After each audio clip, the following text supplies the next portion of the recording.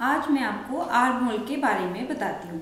मेरे कई व्यूवर्स ने मुझसे पूछा है कि बच्चों का आर्म होल क्या लिया जाता है, बड़ों का आर्म होल क्या लिया जाता है big size small size XL triple XL तो आज मैं आपका ये डाउट क्लियर करती हूँ। ये जो मैंने 25 साल की सिलाई सिखाने और करने में जो एक्सपीरियंस लिया है, वो आज मैं आपको शेयर करती हूँ।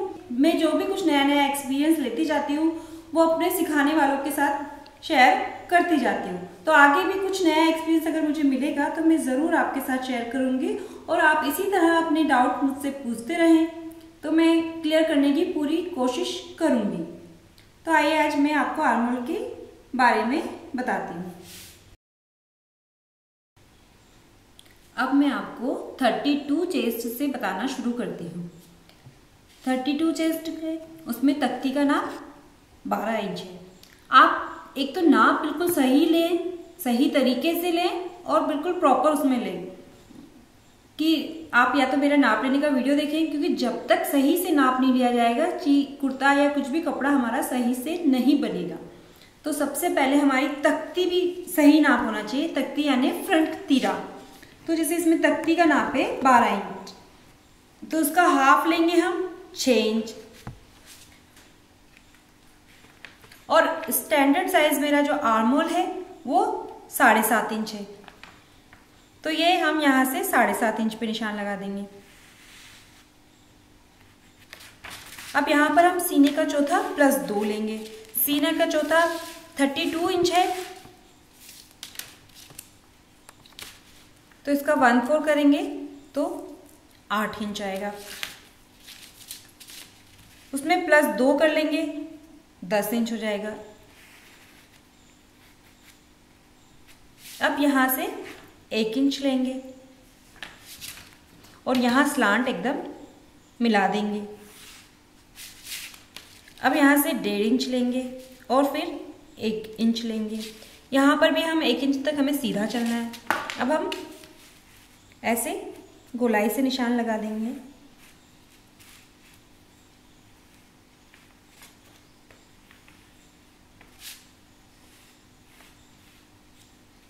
ये देखिए, ऐसे ही हम बैक वाला करेंगे।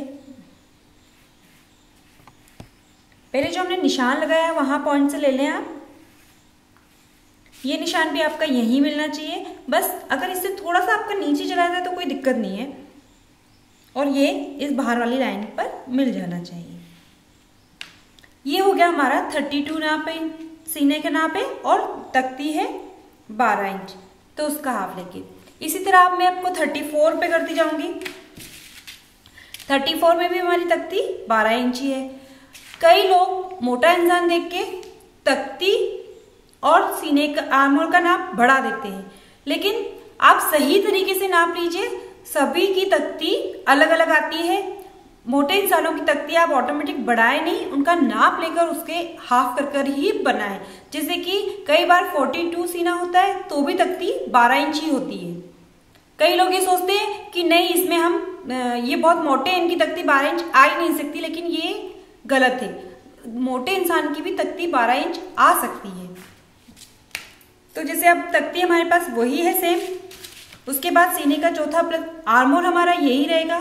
सी, जैसे थर्टी फोर का वन फोर करेंगे, साढ़े आठ इंच आएगा। उसमें प्लस दो करेंगे तो साढ़े दस इंच हो जाएगा। तो आर्मोल की लेंथ वही रहेगी, चौड़ाई हमारी बढ़ती जाएगी।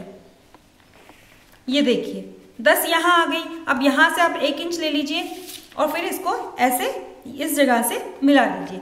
तो जैसे जैसे आपका सीने का चौथा हिस्से का नाप बढ़ता जाएगा, आर्मोल की लेंथ वही रहेगी, आपका नाप इस तरफ़ बढ़ता जाएगा। जैसे कि अब हम 36 का करते हैं। 36 का चौथा हिस्सा नो आएगा। उसमें प्लस दो करेंगे तो 10 11 इंच हो जाएगा। तो यहाँ से 11 इंच हो जाएगा। तो देखिए, हमारा आर्म होल इस तरफ़ बढ़ता जा रहा है। फिर आप वही तरीका एक इंच यहाँ से लीजिए, ये एक इंच, ये इनकी निशान वही है, लेकिन ये जो निशान है, आप उसको इस तरह से यहाँ मिलाती जाएँगी। तो अब जैसे 40 सीने का नाप हो गया तो 40 इंच हो गया तो 40 इंच का चौथा 10 इंच आएगा। तो यहाँ 10 प्लस दो बारह इंच। तो आपका आर्म होल इस तरह बढ़ता ही जाएगा। इस तरह से आपके आर्मोल की लेंथ ऑटोमेटिक बढ़ती ही जाएगी। ये देखिए, लेंथ वही रखी है मैंने साढ़े सात इंच। बस जैसे ही विर्थ होती जा रही है, पहले हमारा नौ पे यहाँ था, चौतीस पे यहाँ था, छत्तीस पे यहाँ है। अब इस तरह से हमारी लेंथ बढ़ती ही जा रही है। तो इसलिए आर्मोल को कोई ज़्यादा नहीं रखेंगे, साढ़े सात इंच ही रखेंगे। अब फोर्टी टू सीना हो गया तो भी हम यही करेंगे। फोर्टी टू का वन फोर साढ़े दस इंच आता है, उसमें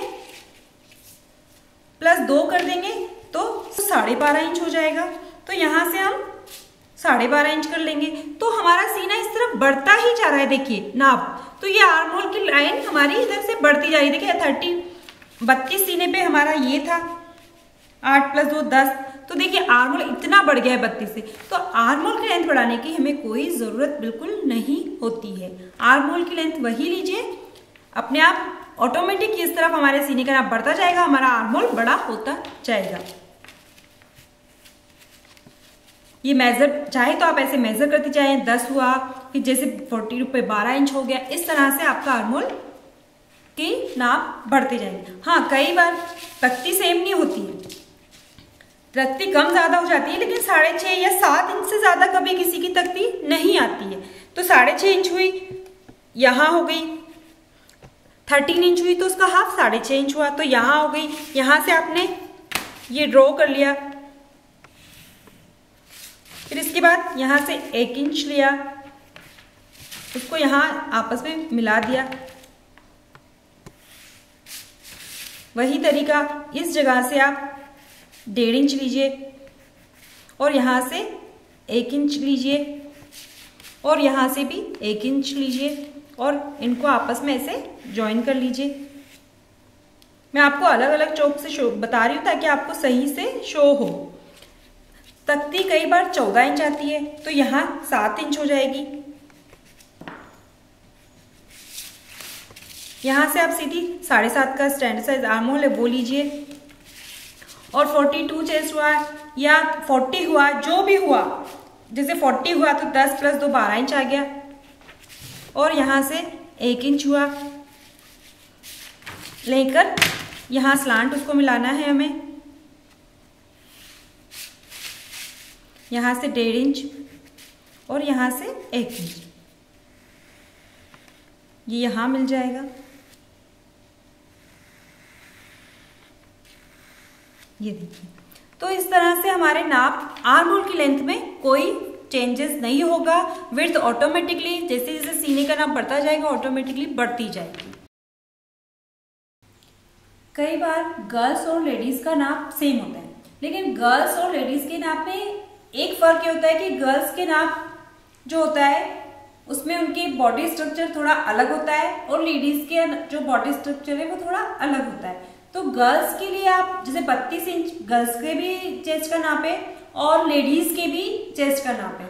तो गर्ल्स के सीने का नाप जो होगा, उसमें हम आर्म होल की लेंथ में आधा इंच कम कर सकते हैं।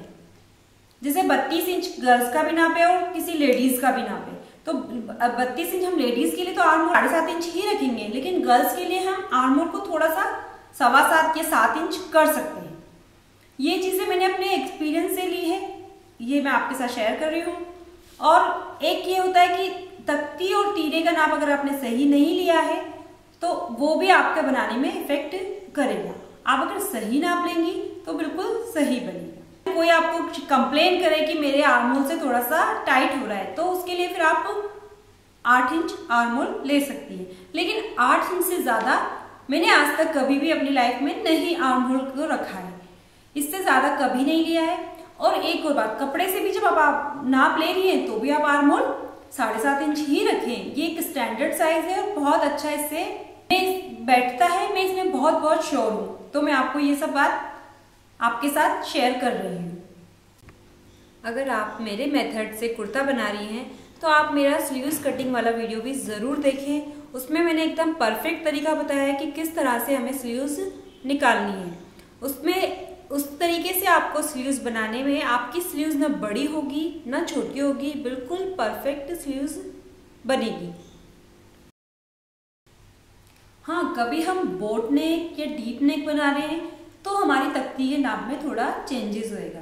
अगर आप इसी तरह से नाप, जो मैंने बताया, उसी तरीके से आप नाप ले रही हैं तो आपके तख्ती और तीरे में कोई चेंजेस नहीं होंगे। उसी तरह से बनेंगे। लेकिन जब हम डीप नेक बनाते हैं या बोट नेक बनाते हैं तो तख्ती में प्लस माइनस करना होता है।